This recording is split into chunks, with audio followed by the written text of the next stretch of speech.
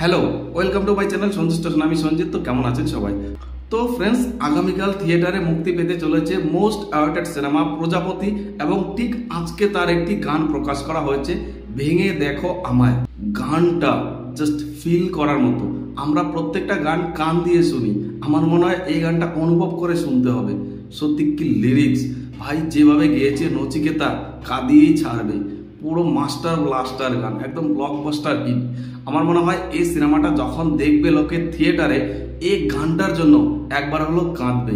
চোখের কোণে কোথাও যে জল চলে আসবে কেউ জানে না। লিরিক্সগুলো এত মিনিংফুল জাস্ট ফাটাফাটি। প্রত্যেককে দেখতে এখানে এত ভালো লাগছে, তারা অভিনয়টা যে করছে বোঝাই যাচ্ছে না। মনে হচ্ছে রিয়াল একটা সিন দেখছি। প্রত্যেকের মনে শান্তি নেই, সুখ নেই। কোনো একটা এমন দুর্ঘটনা ঘটেছে বা কোনো একটা এমন কথার মধ্যে এরকম একটা কিছু হয়েছে, যার জন্য সবাই খাচ্ছে তো পুরো যে একটা সিন ক্রিয়েট করা হয়েছে, দারুণ লাগছে।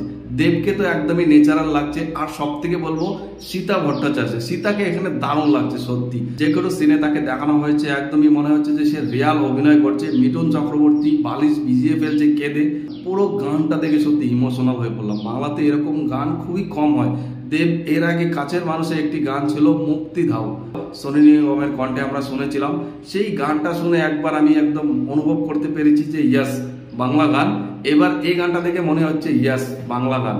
তো আমি কিছুক্ষণ আগে একটি বলিউড সিনেমার গান শুনলাম, পাঠানের, যেখানে অরিজিৎ সিং এর মতো সিঙ্গারকে রাখা হয়েছে। তারপরও গানে একদমই মন বসেনি।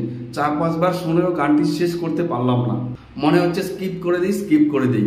বাট এই গানটা যত শুনছি, মনে হচ্ছে আরেকটু থাকতো আরেকটু থাকতো। তো দেখুন ডিফারেন্স এর জন্য হয়তোবা মিউজিকের বাপ বলা হয় বাংলাকে। বাংলার কাছ থেকে মিউজিকটা মানে সবাইকে শেখা উচিত। প্রথমে যে মিউজিকের ধনটা শুরু হচ্ছে, এত সুন্দর একটা সেটনেস মিউজিক এখানে ক্রিয়েট করা হয়েছে, দারুণ লাগছে। তারপর দেব ঘরে ফিরছে। প্রজাপতি সিনেমা এখনও পর্যন্ত যে কটা গান এসছে সবগুলো গানই সুপারহিট, সবগুলো গানই খুব ভালো, তবে এই গানটা বেস্ট আমার কাছে এই গানটা একদম বেস্টে রাখা উচিত বিকজ গানটার মধ্যে এত একটা মাধুর্য রয়েছে ইমোশনাল রয়েছে, দারুণ লাগবে, আপনাকে ভালো লাগতে বাধ্য করবে। তো এই গানটাকে যদি আমি রেটিং করতে চাই out of five four point five দেবো ইয়াস ফোর পয়েন্ট ফাইভ আমাকে দিতেই হবে। তো দেখুন, আমি গান নিয়ে সেরকম বুঝি যে তা তো নয়, তবে গানটা আমাকে বেশ ভালো লেগেছে, বেশ নিজের কাছের মনে হচ্ছে। তো যারা এখনও শুনেননি, শুনুন, খুবই ভালো লাগবে, খুবই স্নিগ্ধতা, খুবই ইমোশনাল খুবই টাচ টাচ একটা ভাব রয়েছে। তো এই ছিল আমার এই গান নিয়ে রিয়াকশন ভালো থাকুন সবাই। টাটা।